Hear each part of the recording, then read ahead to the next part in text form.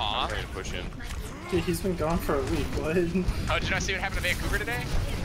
What? That was yesterday. Or yesterday? Ooh, that was that was- a was single bad. League match